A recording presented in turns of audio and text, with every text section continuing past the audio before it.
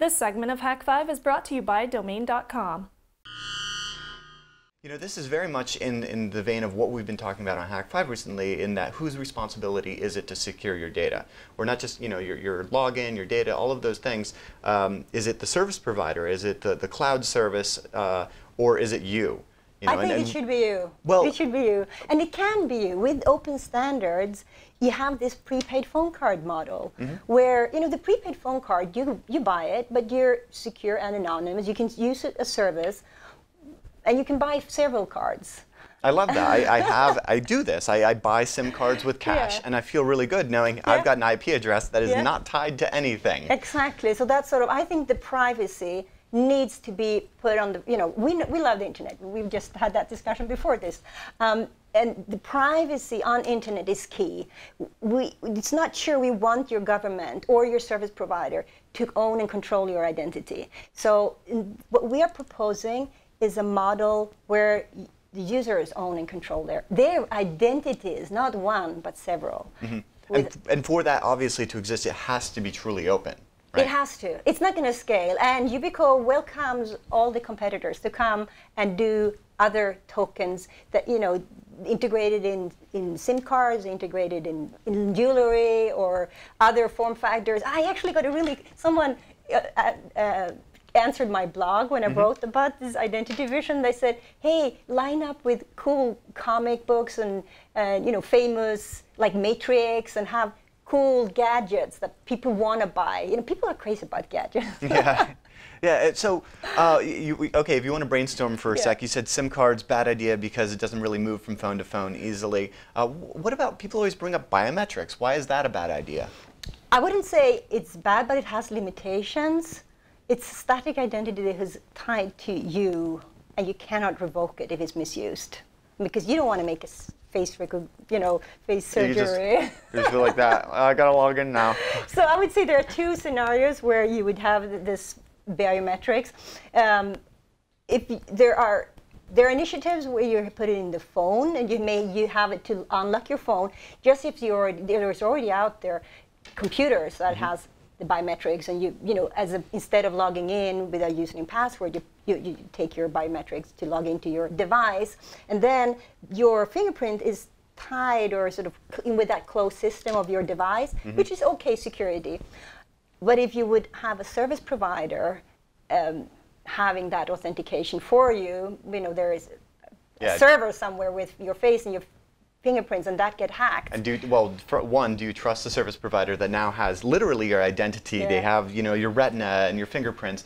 Uh, and moreover, like you said, when they when it gets hacked, then then yeah. suddenly you know talk about identity theft. That's yeah. you know a true identity theft.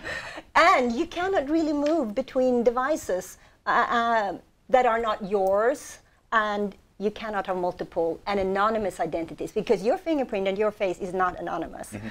So, so, tell me about this. What, what's the solution here where this is great for me to log into my SSH server on my laptop, but now I want to browse, the, I want to log in on my phone? You know, what, what's, what's the solution there? Oh. People propose, you know, Bluetooth, people propose different solutions for mobile devices, but if it is going to be, if this, you know, new global identity solution is going to be adopted, it has to be easy to use on any device. And, and we're in a boon of new devices right now. Yes, so I think the two interfaces that has the best potential is USB. It's already there, mm -hmm. and, and NFC. And NFC is now adopted in more than 150 million smart devices. And it's coming even, you know, and I think the reason why it's coming, it's actually not only because we have a, a little YubiKey that has NFC, but the credit cards. And that user experience is so great. You literally, I mean, you take your card and you take your phone mm -hmm. or your laptop and you tap your card to your phone and you've made secure payments. That whole 16 digits expiry date thing, you can just... Zip code, all the CCV yeah. number. Yeah. So, and that whole hassle of your bank blocking your account because they don't believe you did that transaction and so so i think this what's going to drive this and why users will adopt it is the privacy aspect the simplicity. If you have a, a, a token or an identity you can literally just tap it to your smartphone or your device or plug it into your into your computer. You don't have to retype anything. You don't you don't have to be clever. You can And this is already happening, is what you're saying, a- as far as like NFC with cards are concerned. Yeah. So will this just be the adoption, and that we didn't even know that it just happened overnight, and it's like, oh, well, now this I log into my phone, oh. or, or what's Ma- that? Mastercard is already driving those initiatives, putting NFC into credit cards, and so we're going to, you know, in a few years, it's going to be everywhere. This is going to be great for getting drunk on Amazon. and then Yeah. wondering what shows up on Prime the next day. No, I'm joking. Yeah. Uh, You can make really fast payments without having to think. so what about TPM? yeah, So isn't that Yeah. the solution that we've been talking about? Is- That's been around for ages, right? TPM has been around for 10 years, and in almost all PCs you have TPM today. Again, it's an identity that's tied to a device. And I personally, I have four di- different devices. I have phones, I have tablets, I have different computers, I have a computer at work, at home. Sometimes I log into my husband's computer or my kid's computer, or I'm at a friend's house. I don't want to be my device. I have my key in my keychain, and I can move it between devices. So I think TPM, I would say in the future, you may want to see a combination of TPM and biometrics and the vision I'm outlining. I'm not saying it's not going to be one direction. It's probably going to be a mix uh, and for different use cases. But we've seen TPM for 10 years, and why hasn't it scaled? I mean, I don't know. Yeah, I, I think you're right that the credit cards really have the most uh, ability to, to get actually uh, some adoption because there's so much industry behind that, both on the retail level and the consumer ease and the banks that want that kind of security. And really just kind of adds a value add, whereas the TPM, when you say, hey, the value add is you're more secure, people are like, I have to do what now to be more secure? No. Yeah. I- mean, the simplicity and saving time and saving hassle is really what's going to drive this. So, um, with new protocols coming out uh, in the future, what though can consumers do today to be more secure? You feel?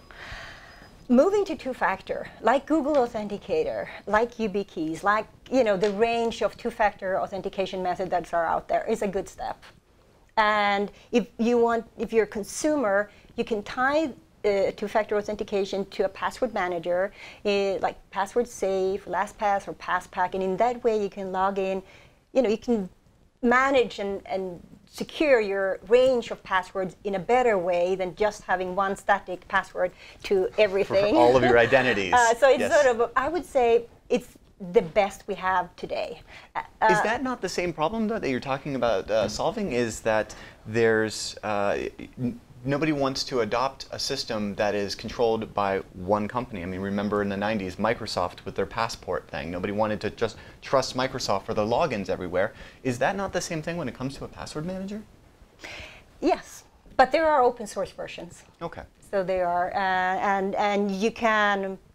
So the ones who are really security aware, they may choose the open source version. Then there, there are good security versions too um, that I would I would use instead of having bad, you know, s- simple passwords for everything. So I think there's a combin, you know, there's a balance between. So you're saying like any step is better than no step at all.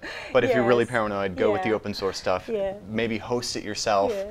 Put the authentication, put the control back in your hands as far as your identity.